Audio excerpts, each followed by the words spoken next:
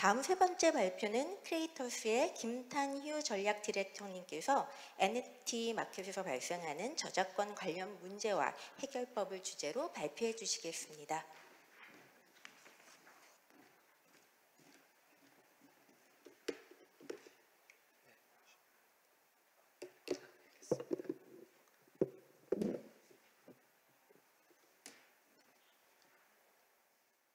네, 반갑습니다. 마이크를 조금만 올릴게요. 네, social creator를 위한 NFT marketplace 크리에이터스에서 전략 디렉터를 맡고 있는 김탄휴라고 합니다. 어, 간단하게 그냥 발표자가 누군지를 설명드리면 좀 좋을 것 같아서 준비한 슬라이드인데요. 저는 2017년부터 블록체인 필드에 들어왔었고 블록체인 미디어를 창립하는 것을 시작으로 이쪽 업계에서의 경력을 쌓아왔고요. 현재는 파블록이라는 블록체인 교육기관을 운영하면서 크리에이터스라는 NFT marketplace의 전략 디렉터를 맡고 있습니다. 어, 오늘 제가 준비한 부분은 NFT 마켓의 저작권 위반 문제와 그것에 대한 뭐 범용적인 해결법이 될 수는 없겠지만 저희가 쓰고 있는 해결법 정도를 그 준비를 했습니다. 네, 여기 계신 분들이 저보다 더 NFT에 대한 정보는 잘 아실 것 같아서 이 부분에 대해서는 넘기도록 하겠습니다. 네, 그 위반 사례부터 빠르게 말씀을 드리면요.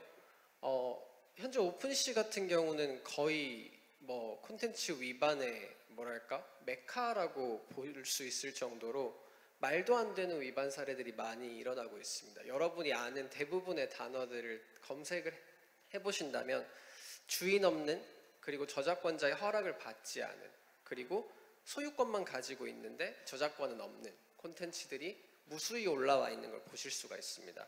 제가 그냥 너무 쉽게 뭐 오징어 게임이라는 콘텐츠를 검색한다든지 아니면 BAYC라는 키워드를 검색했을 때 나온 검색 결과들인데요.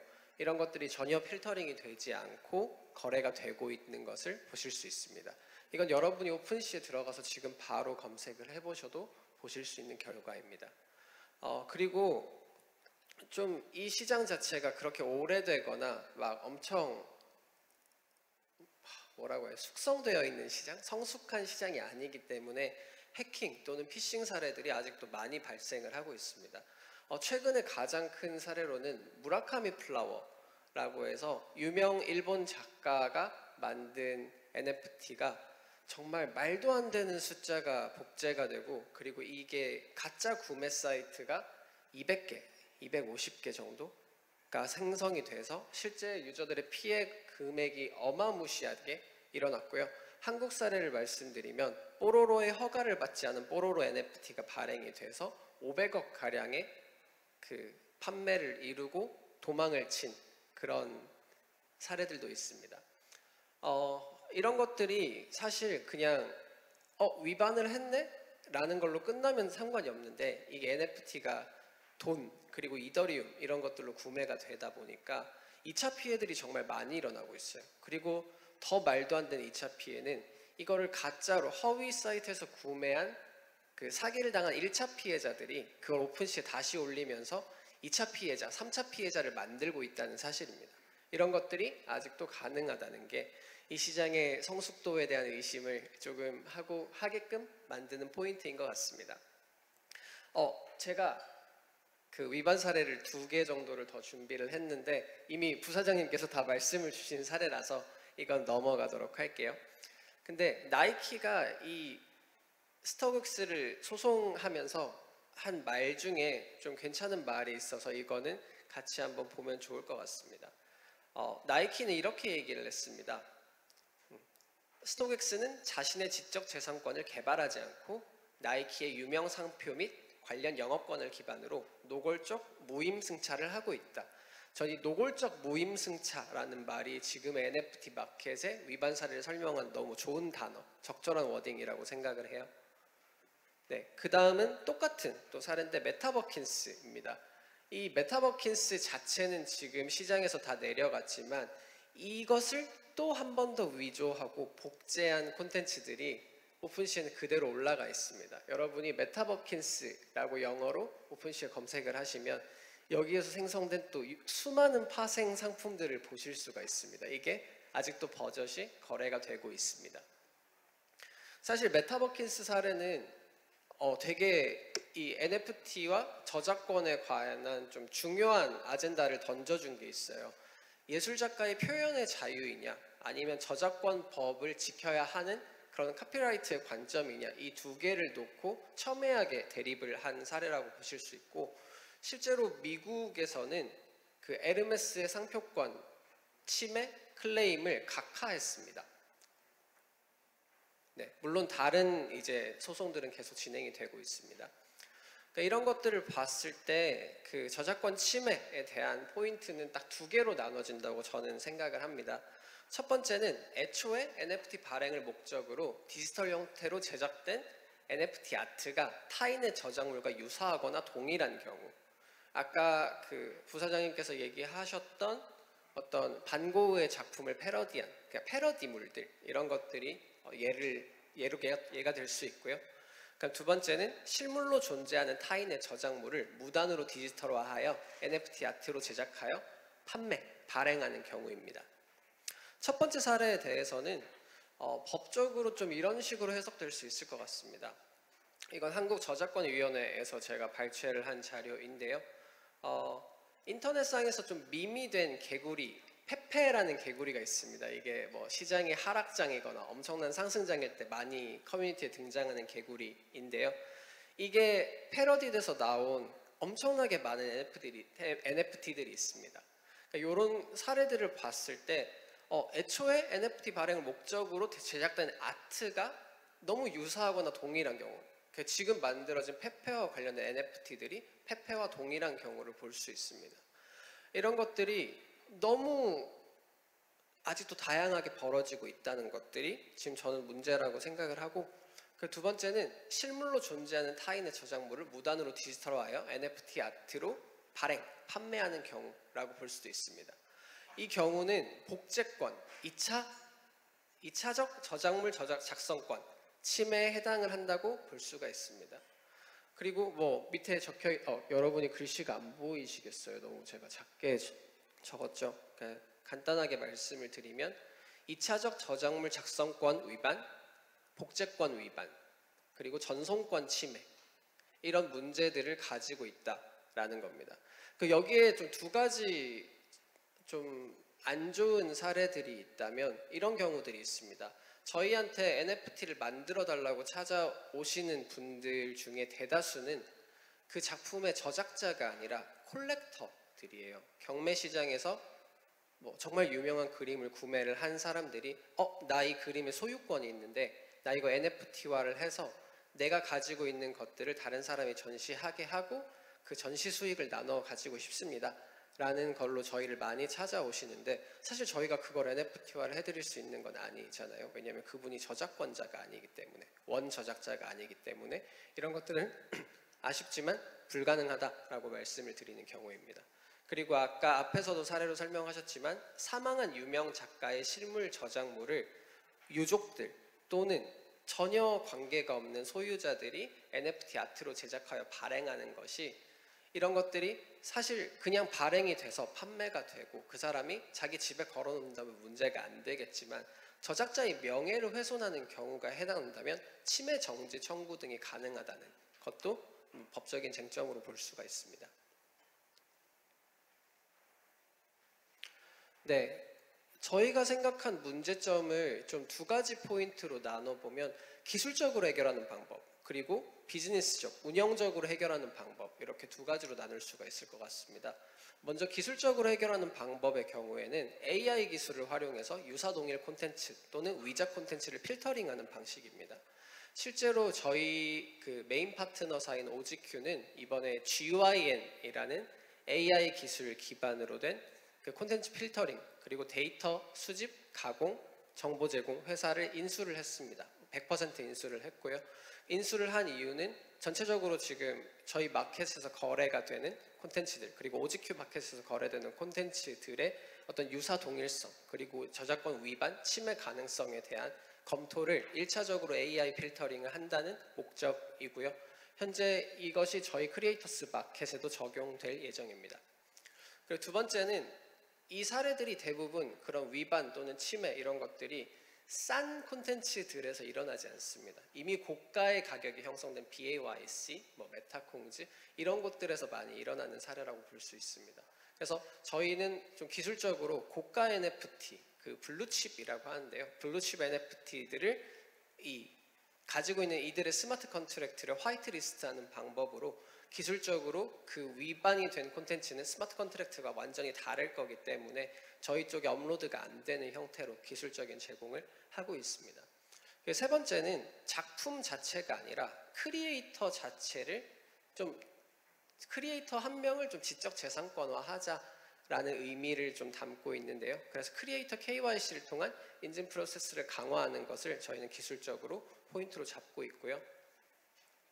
운영적으로 해결할 방법이 이제 지금 저작권위원회에서 발급을 해주시는 UCI 코드 발급 이게 그 저희 메인 파트너인 OGQ가 발급사로 등록이 돼 있는 상황이라서요.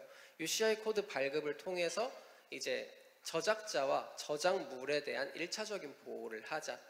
나 이런 것들을 이제 운영적으로 가지고 있습니다. 이게 기술적인 방법은 사실 아니니까요. 그리고 저작권 침해 콘텐츠에 대한 신고 정책 확립, 그리고 신고 대행 프로세스 이런 것들은 저희가 운영적으로 계속 붙이려고 노력하는 포인트이기도 합니다.